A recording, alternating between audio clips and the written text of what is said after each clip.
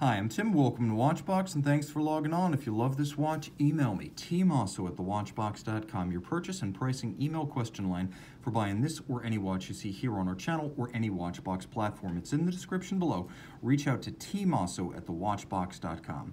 Today, we are discussing a 2019 launch, an evolution of the redesigned 2018 Omega Seamaster Diver 300 meter. This is the Diver 300 meter white ceramic dial, a timepiece that's 42 millimeters in stainless steel. It's 13.7 millimeters thick by 50 millimeters lug to lug with a 20 millimeter spacing between the lugs. Throw it on my 16 centimeter circumference wrist, you can see it's a good fit. I owned the original 41 millimeter version of this watch, and I can tell you this version wears exactly the same. It may be a little bit larger, but it's not something that you notice. It will fit underneath most sleeves, as you can see from this angle. From over the top, you can see I've got some clearance on each side of my wrist, and now I will pull my sleeve up and give you that down the barrel shot so you get a better sense of the clearance on each side of my wrist. I can recommend it for a wrist as small as 14 centimeters circumference. The strap is a piece that was created in 2018 specifically for this redesigned series, and you can see it has two crests with satin finish. There's a frosted finish to the primary. The vast majority of this is that satin, almost granular blasted style finish. There's a little bit of fluting along the edge, and then it has a swell so it matches the contours of the case and the slope of the lug, but it thins out considerably on its underside, so it's flexible against the underside of the wrist. You can see there's a wave pattern underneath. That wave pattern is a recurring theme in this watch. And then here's a buckle that was created just in 2018 again for these Diver 300 meters, a combination of satin and polish. It's attractive, and it makes for quick adjustments of the fit. The case is familiar. We've seen a lot of this case since the mid-60s on Seamasters and Speedmasters, the lyre-style lugs, big expanding bevels that thin out at the mid-case, and then the inward bevels also turn dramatically inward, so it actually twists in two directions. The lugs twist inward and outward at the same time. Longitudinal satin finish through the mid-case helium escape valve, conically shaped now, no longer a cylinder. The big change for 2018 was that you could now open the helium escape valve while in the midst of a dive useful for saturation divers. Everyone else it's just a great talking point and a conversation starter. The bezel is 120 click. It features a ceramic insert that has cold enamel white characters, so the indices and the numerals and the triangular index, that's all cold enamel.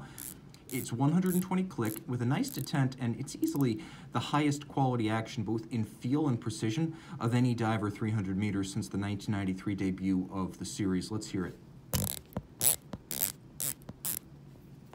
Very sharp, easy to line up the index with the skeleton blackened minute hand. And of course, these are the so-called James Bond hands, as they're known, because they were made famous on the wrist of Pierce Brosnan during his 1990s turn as 007 with the original version of this watch. A quick 0 to 60 minute timer, I actually prefer to read this against a chronograph. With a chronograph, you typically have little registers for the minutes, and they typically only go up to 30 minutes, which I don't love. 60 minutes makes more sense, and it's an easier reference to read without the downstream maintenance requirements of a chronograph complication. The dial is white ceramic with the Omega wave pattern made famous in the 90s. The indices are no longer printed, and they haven't been for a while. They're upscale applique, and they too are blackened for contrast. You can see zirconium oxide, the chemical symbol just under the hands. The dial's made of ceramic, and that's going to benefit you on multiple levels. It won't tarnish, it won't oxidize, and physical contact during watch service is not going to leave a mark. So it has lots of the advantages of enamel, such as its ageless quality and abrasion resistance, but it doesn't have the weaknesses of enamel like its delicacy and its cost. So it's a win-win. For 2018, the date moves from 3 o'clock down to 6, and there's a new movement inside the case. We have a display case back over caliber 8800, bidirectional automatic winding, 55 hour power reserve. It's shock resistant thanks to a full balance bridge and a free sprung index. It's anti-magnetic thanks to a silicon hairspring. It is a tri-level coaxial, which means it has a direct and indirect impulse escapement with tangential style contact between the impulsing and impulsed surfaces.